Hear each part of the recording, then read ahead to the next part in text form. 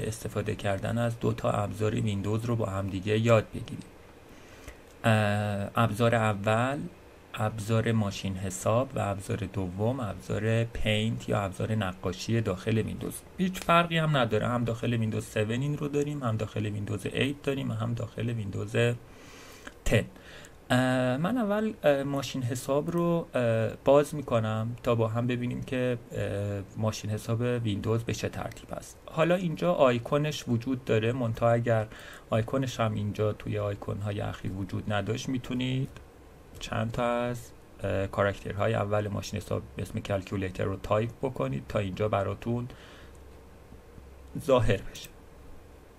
خب می‌بینید که ماشین حساب ویندوز به صورت پیشفرض یه سری امکانات ماشین حساب های معمولی رو داره اما این رو بدونیم که می‌تونیم از ماشین حساب ویندوز به عنوان ماشین حساب مهندسی هم استفاده کنیم و یه مقدار امکاناتش رو بیشتر بکنیم.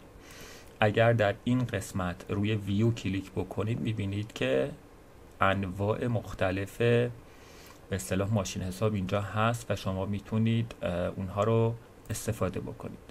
ماشین حساب برنامه نویسی برای مثال پروگرامه. و حالا ماشین حساب های مختلفی که در این قسمت وجود داره و شما می‌تونید ازش بنا به استفاده که دارید استفاده بکنید.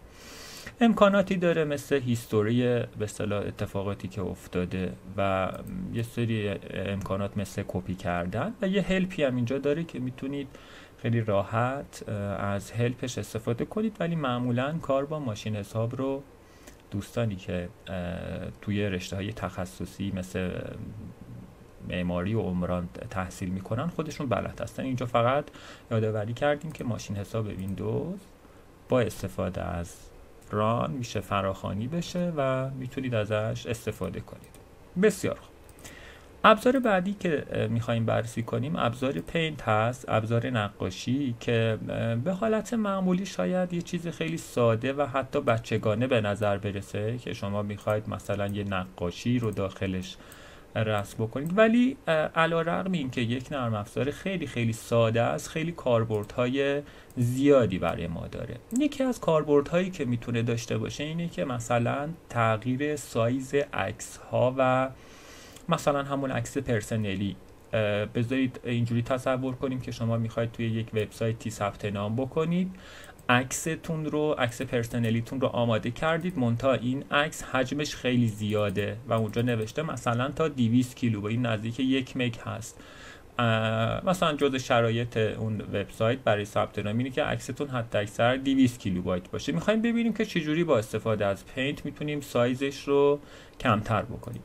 اگر روی این عکس من کلیک راست بکنم و edit رو بزنم یا open with با Paint بازش بکنم در قسمت Home یه گزینه وجود داره به اسم resize. اینجا می‌تونید بر اساس درصد یا بر اساس پیکسل طول و عرضش رو کمتر بکنید. من می‌زنم 50 درصد. اوکی می‌کنم. خب کوچیکتر شد. بازم کوچیکترش می‌کنم. می‌زنم 50 درصد. چون این واقعا عکس خیلی بزرگی هست. حالا تقریبا قابل قبول حالا اگر من این رو سیوز بگیرم در همون محیط دسکتاپ با اسم مثلا dash new. حالا می‌خوام ببینم که حجم عکس جدیدمون با عکس قبلیمون چقدر متفاوته. این عکس قبلیمون بود اگر خاطرتون باشه 98 دهم مگابایت. این عکس جدیدمونه که فقط 52 کیلوبایته. این یکی از کاربردهای پینت هست. یه سری جاها می‌تونیم برای عکس هایی که داریم یه سری ویرایش های خاص انجام بدید. مثلا اینجا می‌تونید این عکس رو یه زیرنویس براش اضافه بکنید.